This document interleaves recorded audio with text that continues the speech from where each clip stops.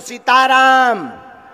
साधु जी ये जो बच्ची बैठी है जा- जाली से दिख रही हाँ जो हाथ हिला रहे हैं ना बिटिया आजा आजा बहन।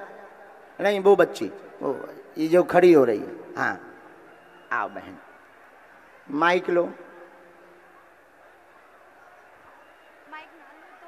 हैं? तो? हाँ लेकिन नाम परिचय तो वही मैं बताने है।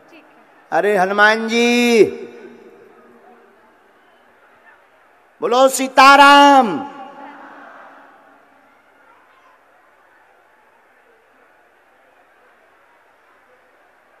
नियम का पालन कर लेंगे बेटा नज़दीक आओ।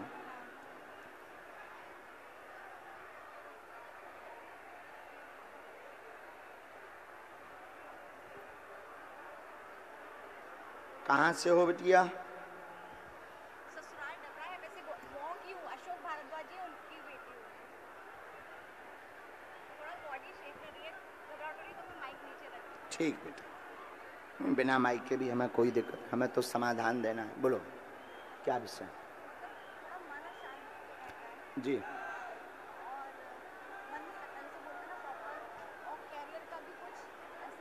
क्या चाहते हैं तुम बेटा?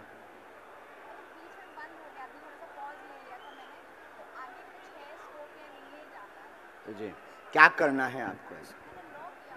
हमने लिखा, बहुत परेशान मन अशांत है, कृपा होगी, आशीर्वाद विचलित नहीं होगा, कार्य सफल चाहते हैं, आप वकालत में ही आगे बढ़िए, घर की उन्नति भी हो जाएगी, आशीर्वाद और ससुराल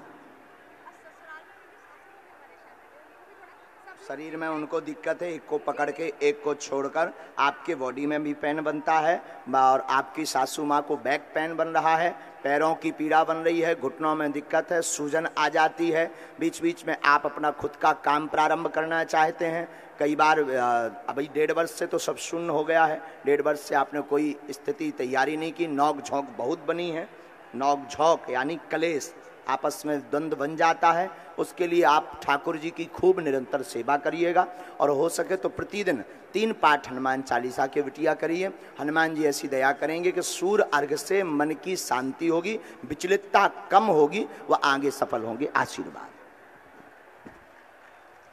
दंद्रहुआ सरकार की बागेश्वर धाम की जय। नेक्स्ट ये मंत्र है। हाओ